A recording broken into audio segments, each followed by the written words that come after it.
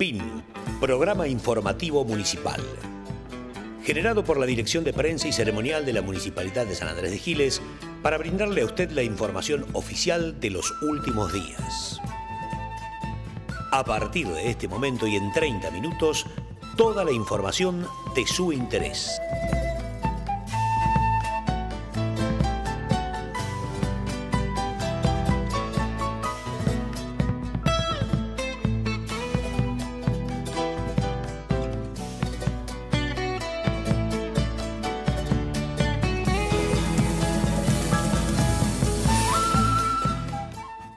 Vecinos de San Andrés de Giles, eh, bienvenidos una vez más a PIM, Programa Informativo Municipal. Luego de un proceso de receso, bueno, tomamos este, nuevamente contacto con ustedes para brindarles mayor información sobre el ámbito oficial.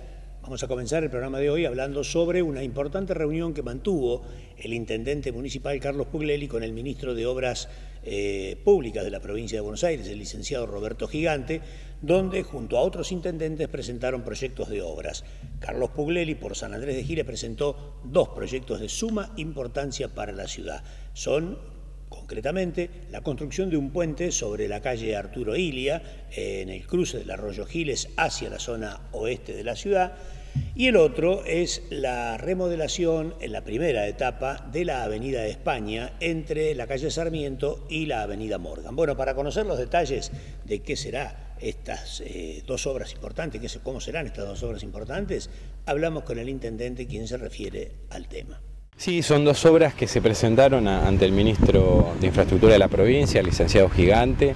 Eh, estamos estimando que en 15 días por ahí estaríamos firmando ya el convenio de estas dos obras.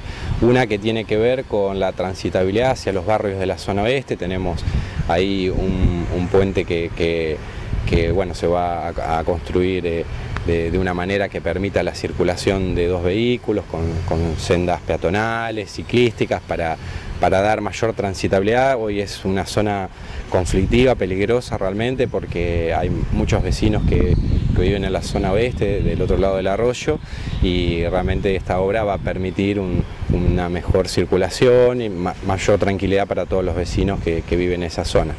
Y la otra tiene que ver con un plan de de, bueno, de hacer hormigonar una parte, la primera etapa, vamos, eh, en, este, en este momento vamos se va a hacer la primera etapa en función de los recursos, pero aspiramos a, después más adelante poder hacer la segunda etapa de la Avenida España, que es la avenida más importante que tiene la, ciudad, una, avenida realmente eh, con mucho tránsito y bueno, vamos a comenzar por la zona de la calle Sarmiento hasta, la, hasta el ferrocarril eh, Urquiza hasta la estación de ferrocarril, que es la parte más deteriorada y es donde, bueno, además del hormigonado de esa, de esa zona, eh, mejorar los niveles para que, esté más a nivel, tiene hoy un gálibo demasiado grande, esto va a permitir eh, también hacer una zona más segura, va a tener un, un bulevar central y bueno, iluminación, forestación, eh, una, manera de, que esta avenida, que, es una avenida muy céntrica de la ciudad, tenga bueno, un mejor terminado y que nos permita, la verdad que, también estamos preocupados ahí por el tema de la circulación de vehículos y eso, y con esto creemos que va a ayudar relativamente a que, a que eso mejore. El intendente Carlos Pulelli recibió en su despacho días atrás al presidente del Club Almafuerte, el licenciado Rodolfo Gallo, para entregarle, junto al secretario de Gobierno, Miguel Gesualdi, un subsidio que está destinado a esta institución que acaba de cumplir 83 años. Justamente este subsidio para la institución de la calle Rivadavia es para solventar, para ayudar en los costos que tiene la reparación y remodelación de los baños, de los sanitarios del primer piso de este edificio emblemático en pleno corazón de nuestra ciudad. Justamente eh, la institución está haciendo la restauración total, de, ya la ha hecho, del salón de actos del primer piso y ahora está en el trabajo de los sanitarios y algunas otras obras en la planta baja. Así que 50 mil pesos recibió por parte del municipio del Club Almafuerte destinados a estas obras. Bueno, el licenciado Rodolfo Gallo agradeció especialmente esta justamente este aporte tan importante para ellos en un momento en el que están trabajando activamente para poner al club nuevamente en el estado en el que estaba desde hace ya muchos años atrás, un edificio realmente imponente en plena ciudad, en pleno centro y que eh, hoy está recuperando su prestigio.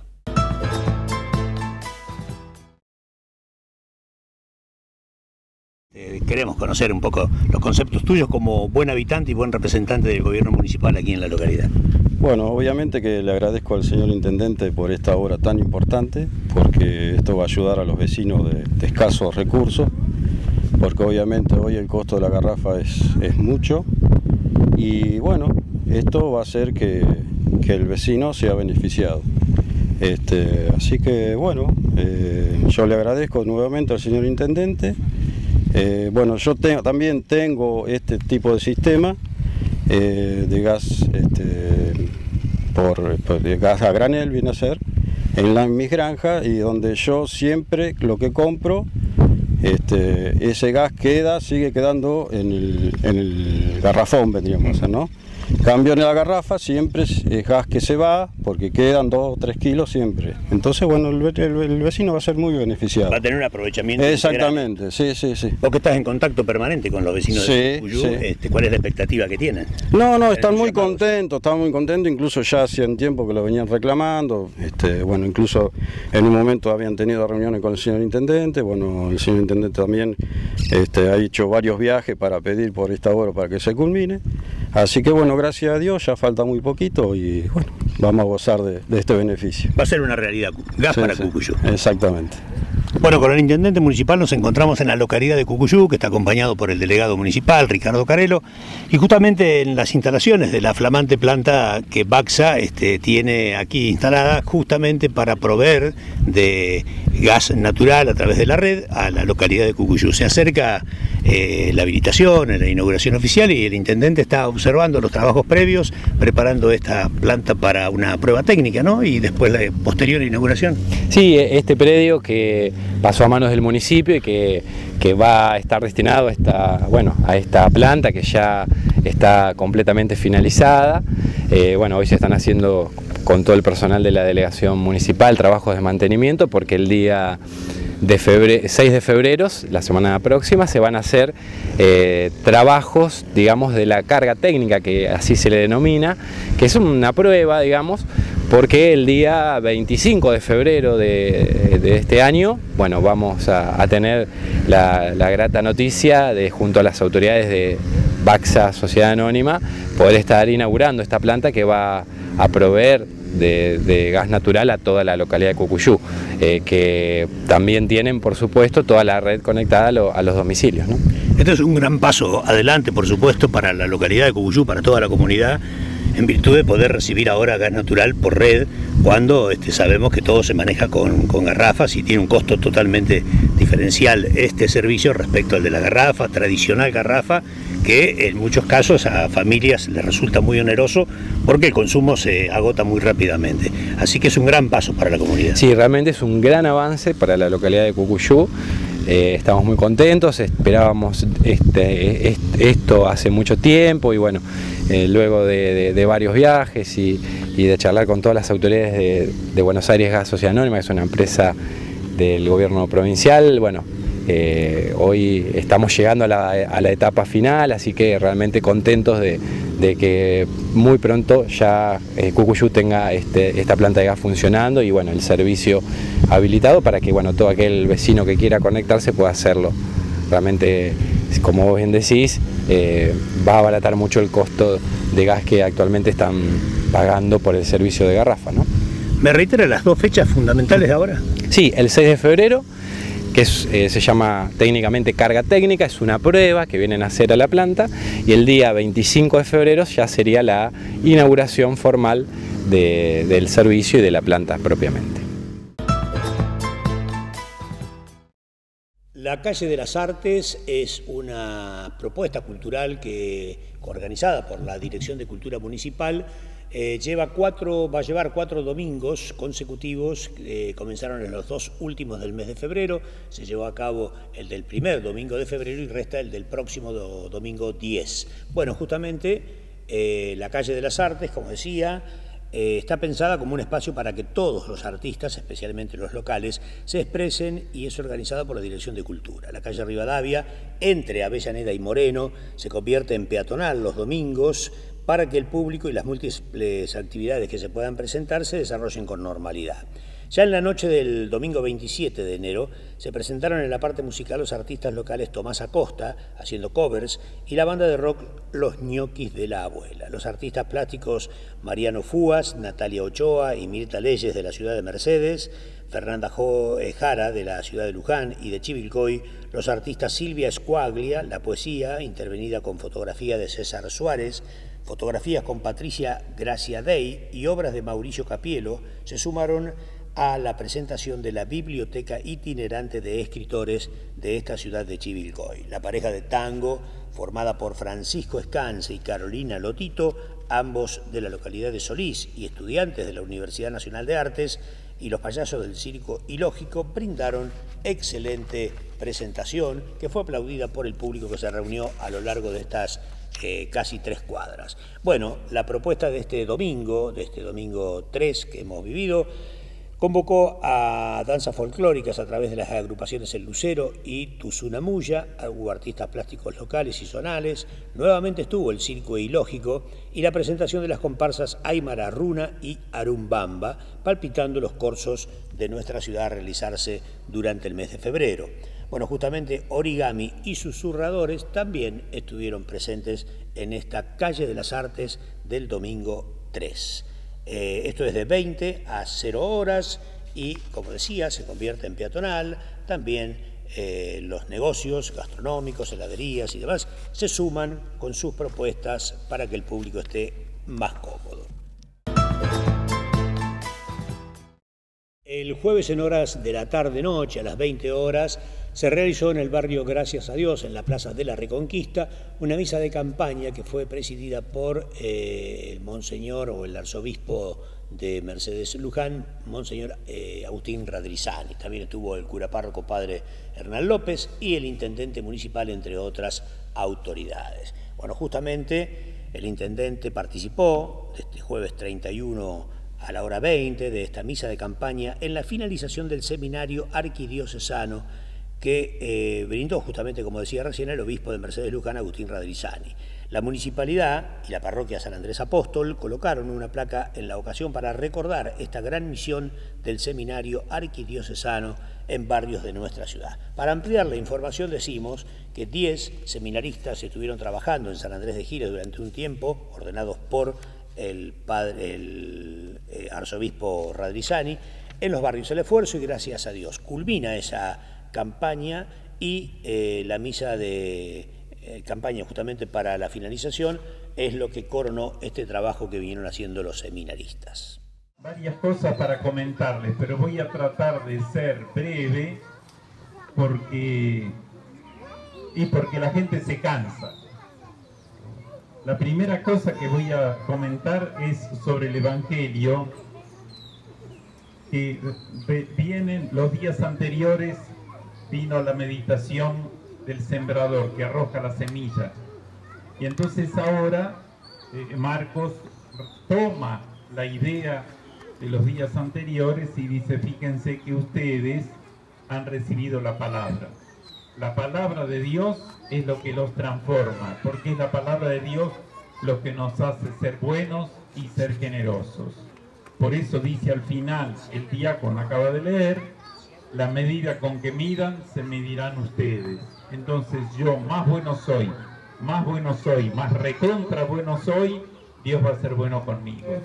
Agradecer la presencia de Monseñor aquí San Andrés de Giles, también agradecer bueno, al Padre Hernán, a los seminaristas, a todo el grupo de fieles que ha trabajado incansablemente para bueno, hacer esta, misión aquí en estos barrios de nuestra ciudad, eh, realmente bueno, contentos de que la hayan hecho, sabemos que, los vecinos eh, se han acercado a la palabra de Dios y han logrado también encontrar por ahí alguna solución a sus problemas.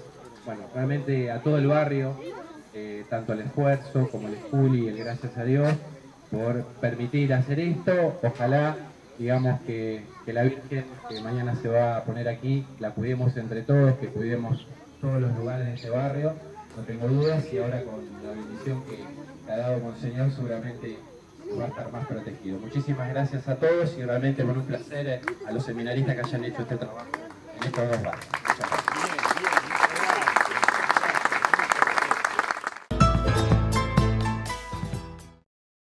El intendente Carlos Pugleli, acompañado por Miguel Gesualdi, el secretario de Gobierno, se hicieron presentes en eh, la Plaza Mitre, justamente en una de las calles laterales, en la calle Italia concretamente, se estaba realizando el hormigonado de eh, ambos lados del cordón cuneta. Bueno, una obra realmente importante que está en el marco de las 28 cuadras que se van realizando en distintos puntos de la ciudad. Bueno, justamente allí estuvimos dialogando con el intendente, quien se refirió a esa obra en particular y también a otras que están en ejecución. Eh, esta cuadra que se está haciendo aquí tiene que ver con el plan de 28 cuadras de Cordón Cuneta, de las cuales 8 ya se han finalizado, que es la calle Mitre, eh, desde la calle Lavalle hasta la avenida San Andrés. Estas, bueno, luego de eso faltan 20 cuadras. Esta es la número 9, que también va a incluir lo que tiene que ver con la calle San Lorenzo, entre Echeverry y Rawson, toda la calle Echeverry, desde Chacabuco hasta la calle Alem, y luego, bueno, la calle eh, Saavedra, entre Irigoyen y Arroyo, eh, más la Avellaneda, entre eh, la calle Alén y la avenida San Andrés. Bueno, en ese marco hay un plan de, de 28 cuadras que se une llevando adelante, por supuesto que luego de del cordón en aquellas cuadras que por los niveles, por la altura de las calles, eh, hay que levantar el asfalto, como es el caso, por ejemplo, de esta cuadra que estamos viendo, viene el asfaltado también de, esas cuadras. ¿no?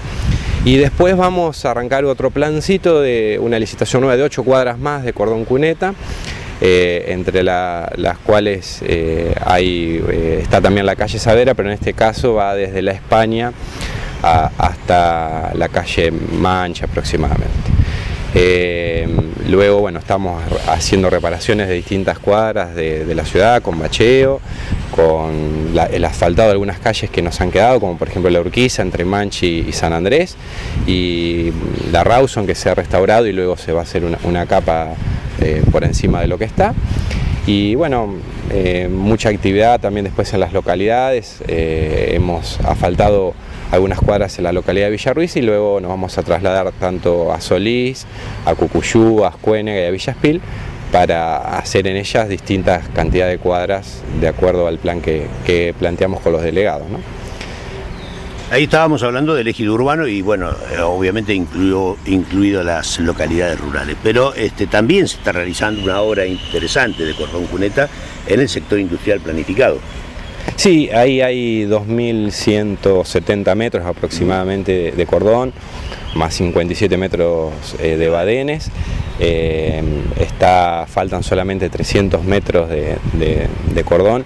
Eh, luego vamos a hacer un, entoscado y un escoriado de las calles para darle transitabilidad y bueno, de esa manera va a quedar eh, perfectamente comunicado, intercomunicado todo lo que es el sector industrial, con los desagües correspondientes, con las habilitaciones correspondientes para que la autoridad del agua dé la, habilitación definitiva, digamos, de, de lo que hay definitivo para luego terminar con la habilitación del sector industrial municipal. Estamos en este momento, bueno, en temporada de verano, estamos sufriendo temperaturas demasiado altas y el municipio tiene cuatro obras importantes en barrios que están relacionadas a eh, la construcción de pozos, una muy importante que es Barrio San Bernardo y San Francisco, que usted gestionara en el año 2017 ante el DIPAC y que días atrás estuvo uno de los funcionarios más importantes del organismo, justamente eh, con usted recorriendo esa obra. Eh, ¿Cómo está esa obra? Y después también hablemos de los barrios de la zona oeste. Bueno, esa es una obra sí muy importante que, es independiente de la red del resto de la ciudad. Ahí en, la obra del, barrio San Francisco de San como bien decías, que gestionáramos eh, ante las autoridades la Dirección Provincial de Aguiclacas de IPAC, eh, eso va muy bien, va eh, con un gran porcentaje de avance, se ha terminado prácticamente toda la red domiciliaria en el barrio San Francisco, se ha hecho la cisterna correspondiente, la perforación correspondiente y en ese caso ahora bueno, ya se van a ir trasladando hacia la zona del barrio San Bernardo. Eh, con respecto a los otros dos pozos, son un pozo en la zona oeste, que es en el barrio San Mateo. Esto aumenta el caudal por supuesto del barrio San Mateo, del barrio 87 Lotes, familia propietaria, Álvarez, digamos que al estar en la punta de la red, digamos, tenían problemas sobre todo en esta época de alto consumo. Eh, con esto, bueno, eh, se, se resuelve la, capacidad, el caudal que, tenía la red en esa zona. Y con respecto a la otra perforación, es en el barrio Esculi, eh, eso, bueno, ya también está hecho el trabajo de perforación, todavía no está habilitado, digamos, el, caudal hacia la red, pero eso va a permitir mejorar el barrio 87, el barrio Esculi, el barrio El Esfuerzo, el barrio Gracias a Dios, que también están en el otro extremo de la ciudad, en la zona este en este caso. Así que bueno, de esta manera tendríamos eh, un amplio caudal en, toda la ciudad cabecera. El pasado domingo 27, con una altísima temperatura que no hizo mella como para que los deportistas se hicieran presentes en gran número, se realizó el sexto Triatlón San Andrés de Giles, organizado por la Dirección de Deporte y Juventud junto al Club El Frontón. Bueno, vamos a hablar, vamos a decirles a ustedes que, como decía recién, el calor reinante no fue impedimento para que los amantes de este deporte dijeran presente en gran número. Eh, los resultados de las competencias que exigían 750 metros de natación, 20 kilómetros de ciclismo y 5 de pedestrismo, obtuvieron o eh, arrojaron los siguientes resultados. En la categoría posta mixta ganaron eh, Mariana Mascardi en natación, Santiago Furey en ciclismo y Ricardo Castañeda en pedestrismo. Segundo se ubicaron Rocío Benave, Diego Penave e Ignacio Carabelli. El tercer ubicado en el lejano del podio de esta categoría posta mixta fue para Sol Dublo, Lucas Rodríguez y Sergio Barani. En la categoría femenina única eh, se ubicó primera Verónica Quevedo y segunda Sandra Carbó. La categoría masculina 30 años, Nicolás Rodríguez fue el ganador, Luciano Cuenca en segundo lugar y el tercer escalón del podio para Facundo López. La categoría masculina de 31 a 40 años, primero fue Marcos Espíndola, segundo Matías Romero Suárez y tercero Nicolás Rossini. La categoría masculina más 40 fue para Marcelo Casas en primer lugar, Eduardo Bonetti segundo y Javier Centelegue en tercer lugar. Importante esta eh, prueba tan, tan exigente, primero por la altísima temperatura que reinaba en esos momentos eh, de la prueba, de este sexto triatlón San Andrés de Giles.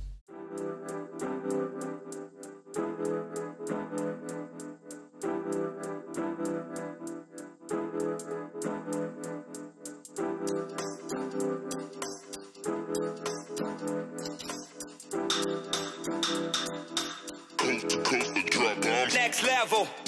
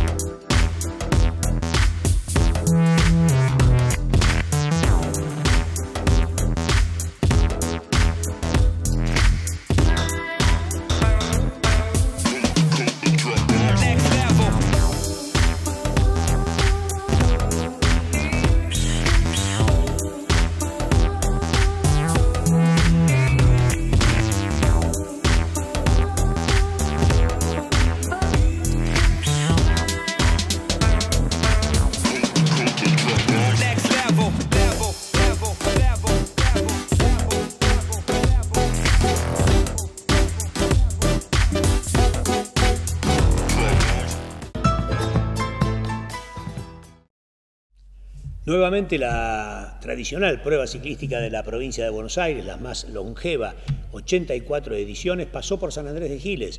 Donde también en la calle Esculi y Alén, adyacencia del Parque Municipal, donde estaba la línea de sentencia, se eh, disputó el sprint bonificable. La bandera cuadros o la bandera del ganador del sprint fue bajada por el intendente Carlos Pugleli.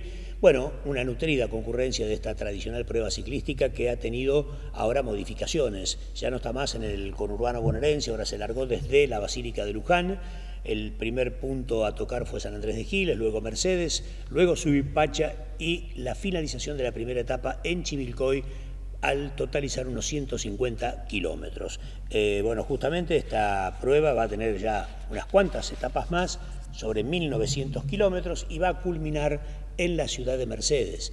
Recuerden que antes se largaba en 3 de febrero y terminaba generalmente en un punto de la capital federal. Bueno, ahora las razones son de seguridad vial, según la organización que es el Club Ciclista Nación, y opta entonces por que se largue en Luján y finalice en Mercedes luego de 1.900 kilómetros de distancia. Mil, perdón, le voy a rectificar, 1.190 kilómetros de distancia. Bueno, eh, Vemos lo que ocurría, eh, estamos viéndolo, imágenes previas y también la del momento culminante. Cabe destacar que este sprint bonificable tuvo el trofeo, como es habitual, Municipalidad de San Andrés de Giles, que va a ser entregado en el punto final de la primera etapa en Chivilcoy este, por las autoridades de la prueba.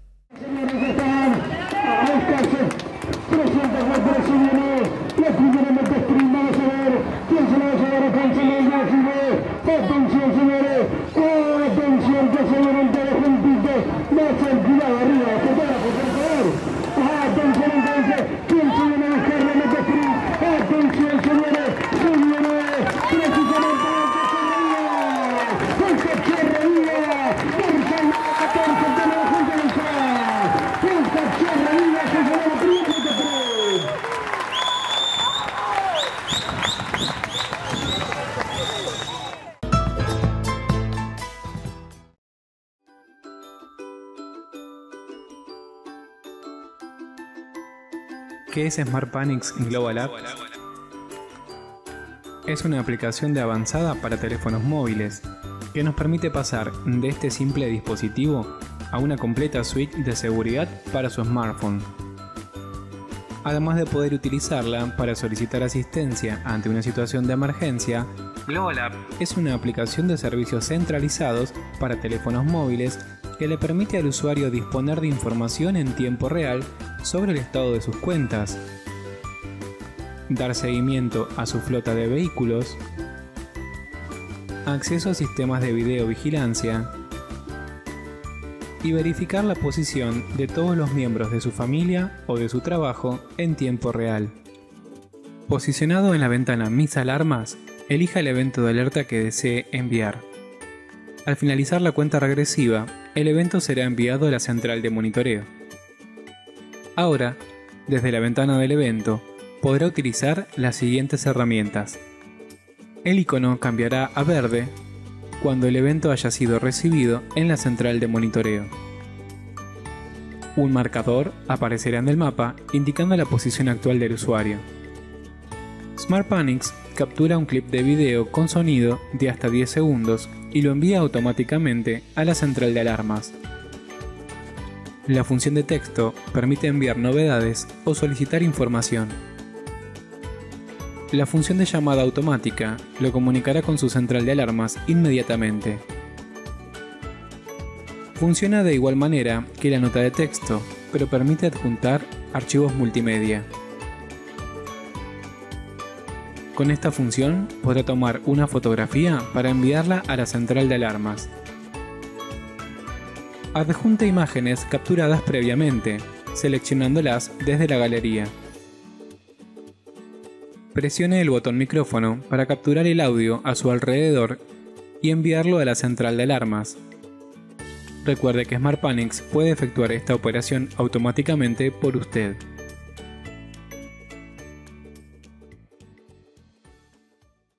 Bien, señoras y señores, de esta manera llegamos al final de una nueva entrega de PIM, programa informativo municipal, con un compacto de unos 30 minutos de duración para que usted esté informado sobre la actividad oficial. Nos volveremos a encontrar aquí en esta pantalla próximamente con más información del ámbito municipal. Muchas gracias y hasta entonces.